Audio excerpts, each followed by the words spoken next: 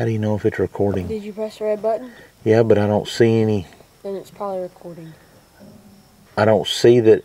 Yeah, there we go. It's recording. Okay.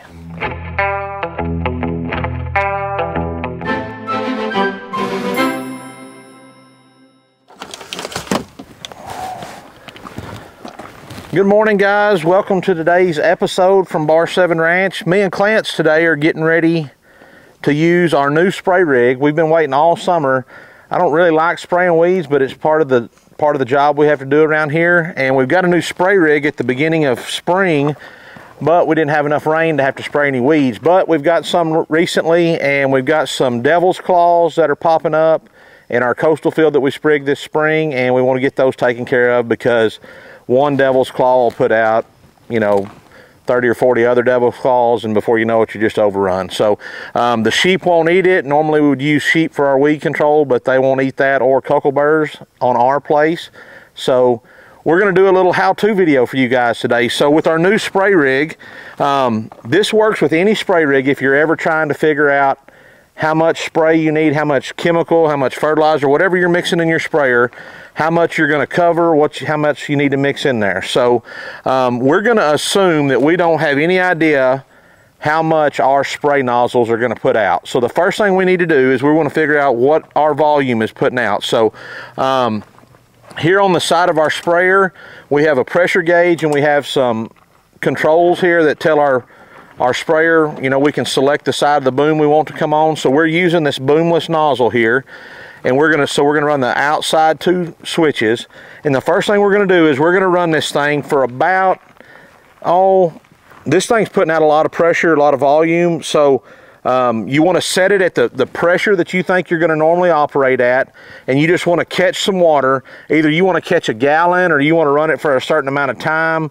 Um, what we're going to try to do is I'm going to try to catch about two and a half gallons in here. I'm going to see if I can find that spot in this bucket, and we'll give y'all a little mark here. So, well, there's liters, quarts.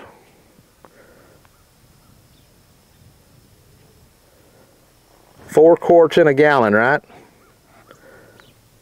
Well, let's just run it. I'm gonna put me a mark in here, guys. So right here at eight, that's gonna run two gallons of water in here. So we're gonna run it and see how long it takes to get two gallons put in there. So I'm gonna put this in here. I've kind of already adjusted my spray nozzles so that for the most part it's gonna go in there. Clance is gonna crank the buggy up and then I'm gonna start it and we're gonna see what happens. So I'm gonna turn my nozzles on, I'm gonna turn the spray on, and I'm gonna start my watch. So what we're doing here is we're gonna catch this water all the way up to my black line, and then that'll tell me how many gallons per minute we're putting out, basically.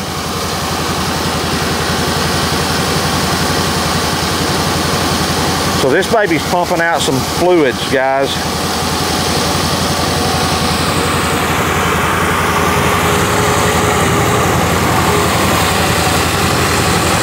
We just hit 30 seconds and we're nearly to two gallons already.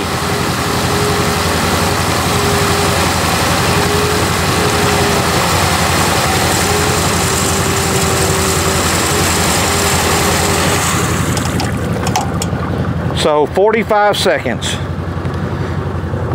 So in 45 seconds you can see we put out right at two gallons of water. So Bub, you can go ahead and turn that off. All right guys, so I wrote this down for you to make it easy and you can pause your screen and see if, see if it, uh, let it help you. So right here is what we did. So we ran two gallons in 45 seconds, okay? There's 60 seconds in one minute and there's 60 minutes in one hour. So if we do our multiplication across and use this little chart, we can figure out how many gallons per hour this spray rig will spray with those nozzles running at the pressure that we have it set at.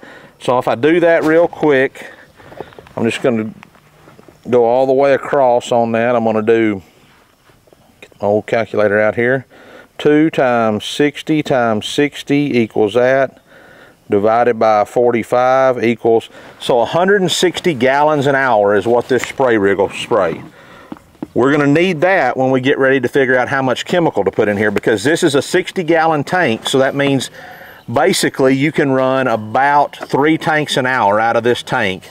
Um, whether you're sitting still or you're going 50 miles an hour, it doesn't matter because the pressure and the volume that it's putting out never changes. The only thing that's going to change is your speed. So what we need to realize is that we can put out 160 gallons per hour with this with this sprayer. I'm going to back that off to about no, we're going to leave that right there, 160 gallons an hour.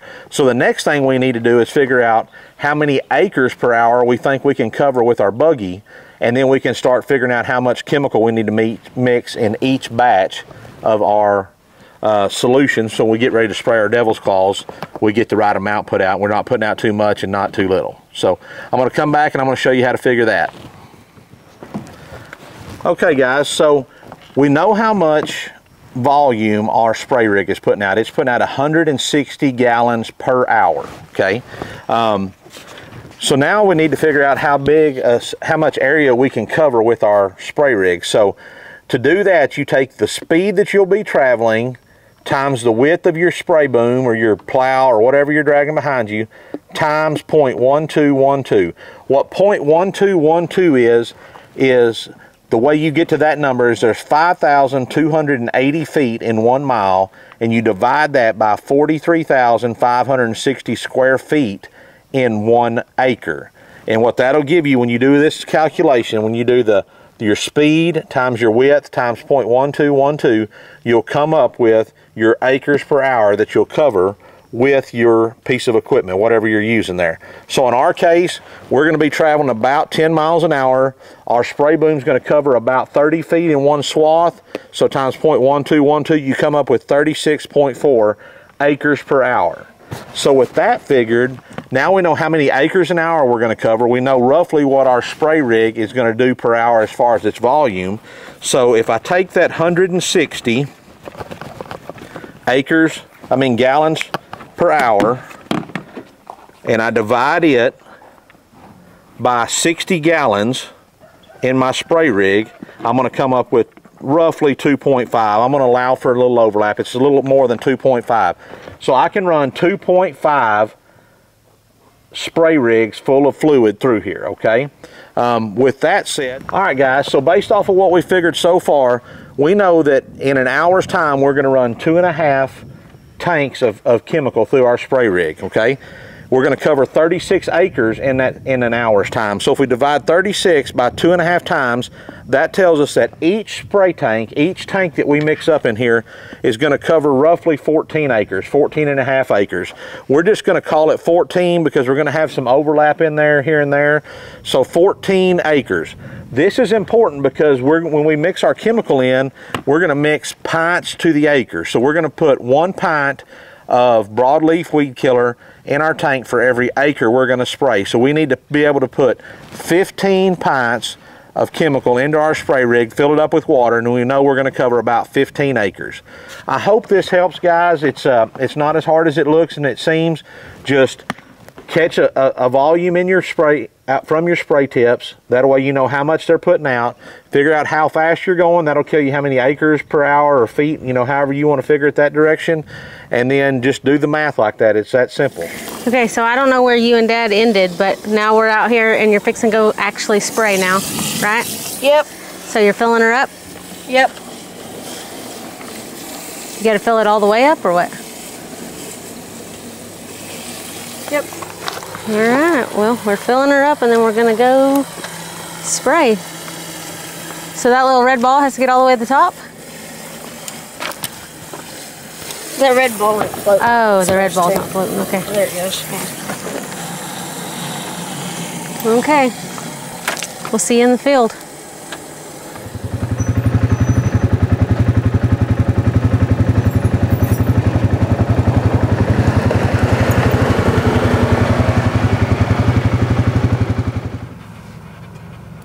He's starting to spray.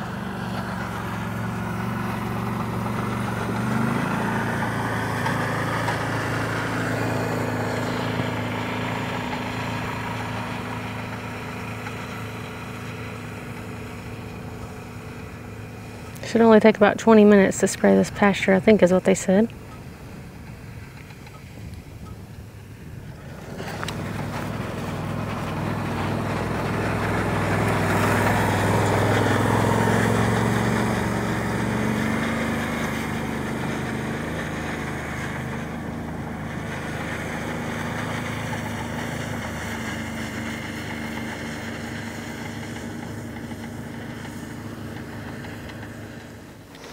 All right, guys, so these are the devil's claws that we're trying to spray right here. This is one of the weeds that we're trying to get rid of. Let's see if they've got any pods on them. Okay, so right here, here's a devil's claw pod right here. I can't see in the sunlight, but those are devil's claws, and they are nasty boogers. We've talked about them before in a video. Trying to find a dry one around here so I can show you what they look like when they fall off, when they dry out and fall off. They are no bueno.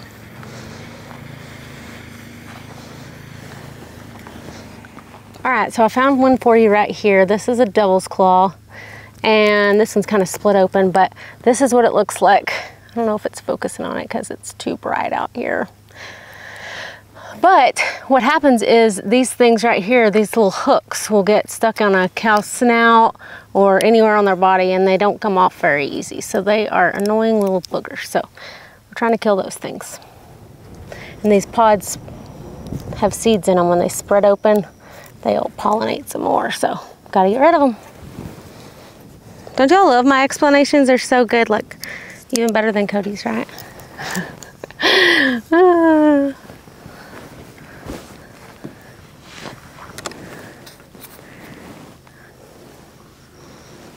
So Clance is gonna keep spraying and I'm gonna go back to work. He's doing a good job.